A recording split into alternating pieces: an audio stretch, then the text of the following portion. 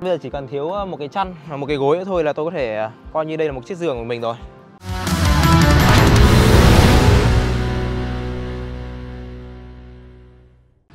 Ra mắt song song cùng với cả mẫu Toyota Veloz Cross thì đây chúng ta sẽ có chiếc Toyota Avanza thế hệ thứ ba với một diện mạo thay đổi hoàn toàn so với thế hệ trước đó tại Việt Nam. Trong video này chúng ta hãy cùng tìm hiểu xem chiếc Toyota Avanza thế hệ thứ ba vừa ra mắt này có những điểm gì đặc biệt.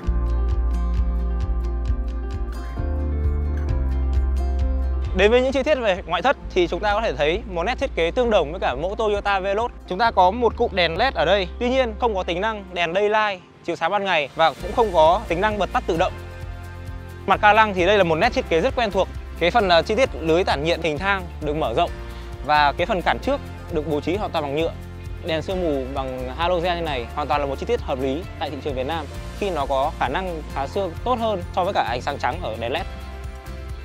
Như các bạn có thể nhìn thấy thì ờ, ở đây Toyota đã trang bị cho Avanza một bộ mâm 16 inch Hãng xe chỉ trang bị hai phanh đĩa trước, còn phía sau thì ờ, vẫn đang dùng phanh tăng trống. Tôi đã phát hiện ra một điểm mà có lẽ là trang bị này sẽ giúp Avanza ăn tiền hơn các đối thủ còn lại. Đó là chi tiết cảnh báo điểm mù đã được trang bị ở trên xe. Ngoài trang bị cảnh báo điểm mù, chúng ta sẽ được tích hợp đèn xi nhan ở đây. Phần gương cũng đã được di chuyển xuống dưới chứ không đặt ở trên trụ A, giúp cho tầm nhìn của tài xế trở nên thoáng đãng hơn, hạn chế được điểm mù nhiều hơn. Ờ, những chi tiết về ngoại thất thì chúng ta có thể thấy là sẽ không được ờ, tinh tế và sang trọng như chiếc ờ, Toyota Veloz Ví dụ như ở trên Veloz chúng ta sẽ có cái thanh nẹp cửa bằng chrome chạy xuyên suốt từ đầu xe đến cuối xe. Ở trên Avanza thì chúng ta sẽ không có. Quay trở lại câu chuyện định vị phân khúc. Rõ ràng một chiếc xe ở phân khúc thấp hơn Veloz thì chúng ta sẽ có những chi tiết sẽ kém sắc sảo hơn. Ở Veloz thì ờ, đèn hậu chúng ta sẽ được ờ, nối liền với nhau bằng một dải đèn led Nhưng ở Avanza thì chúng ta sẽ tách biệt hai phần đèn hậu riêng biệt. Tuy nhiên tất cả vẫn là đều được làm bằng led nhé Ánh sáng vào ban đêm nhìn cũng vẫn rất là ổn. Trang bị tiêu chuẩn của xe chúng ta sẽ vẫn có cảm biến sau, vẫn có camera lùi. Cốp tất nhiên sẽ là cốp chỉnh cơ, giống với cả Veloz ở đây ờ, có một không gian theo tôi thì nó tương tự như cả Veloz tức là sau khi dựng hàng ghế thứ ba lên như thế này thì không gian chứa đồ cũng không còn nhiều. Để mà tăng ờ, không gian chứa đồ thì chúng ta hoàn toàn có thể hạ hàng ghế thứ ba này bằng những thao tác rất là đơn giản.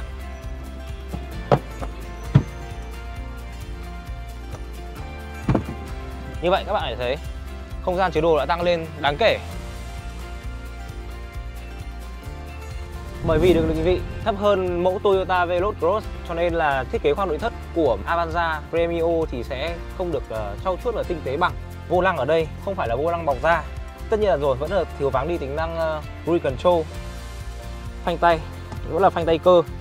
Màn hình thông tin giải trí ở đây thì với một cái viền màn hình khá là dày, không đẹp như ở trên uh, Veloz. Đằng sau vô lăng sẽ là màn hình thông tin kết hợp giữa analog và màn hình thông tin bằng điện tử với kích thước là 4,2 inch. Rất nhiều những hộc để đồ, những cái khay, những cái chỗ mà chúng ta có thể để những cái vật dụng cá nhân. Ngoài ra thì bệ tì tay tất cả các cái ờ, mảng miếng ở trong cái phần ờ, táp lô hay là táp ly cửa ở đây thì ờ, hoàn toàn sẽ là bằng chất liệu nhựa, không tìm thấy bất kỳ một chi tiết bằng da nào. Đến cả phần ghế ngồi của chúng ta ở đây sẽ là toàn bộ sẽ là chất liệu nỉ Bây giờ thì à, chúng ta sẽ cùng di chuyển sang à, hàng ghế thứ hai. Ở hàng ghế thứ hai thì tôi vẫn phải thốt lên một cảm giác rất là giống Velos đó là cái sự rộng mênh mông của nó ngồi cực kỳ thoải mái.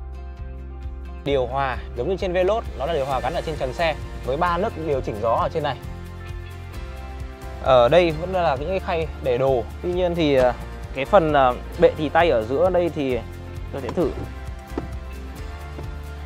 nhìn khá là thô và không có hay để cốc. Cái chi tiết này thì cũng giống với cả Veloz thôi. Tôi sẽ điều chỉnh hàng ghế thứ hai với một ờ, khoảng để chân vừa phải để chia sẻ với hàng ghế thứ ba và chúng ta sẽ cùng tiến đến hàng ghế thứ ba để xem với chiều dài ngắn hơn Veloz khoảng 8 cm theo công bố của nhà sản xuất thì liệu hàng ghế thứ ba còn có thể ngồi thoải mái được hay không?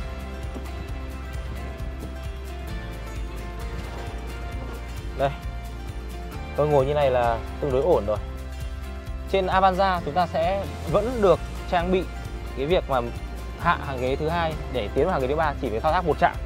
Tôi sẽ cho các bạn xem. Rất đơn giản. Đó. Như này thôi là chúng ta đã có một cái đường à, vào rất là rộng rãi rồi.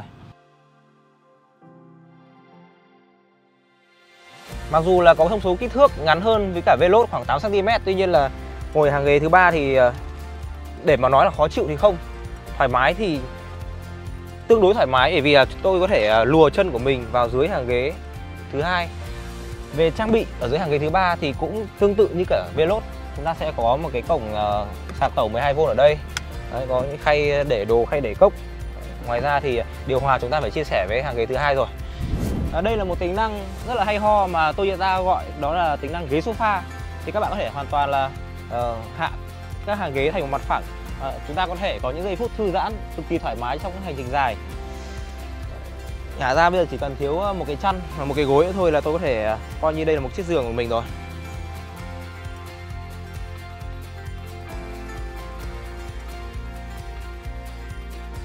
Mặc dù được định vị thấp hơn so với cả mẫu Toyota Veloz, tuy nhiên mẫu Avanza ở đây vẫn được trang bị cỗ máy 1.5 lít hút khí tự nhiên, kèm theo đó là hộp số CVT.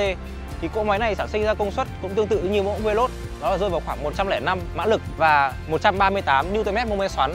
Và theo công bố của nhà sản xuất thì mẫu xe này tiêu thụ nhiên liệu rơi vào khoảng 6,3 lít cho 100 km đường hỗn hợp.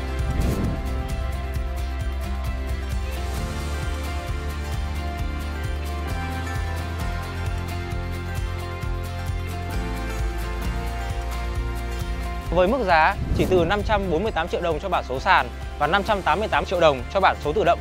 Tôi không biết rằng chiếc xe này có thể lật đổ ngôi vương của Xpander hay không, nhưng rõ ràng đây sẽ là một luồng gió mới trong phân khúc MPV cỡ nhỏ tại Việt Nam.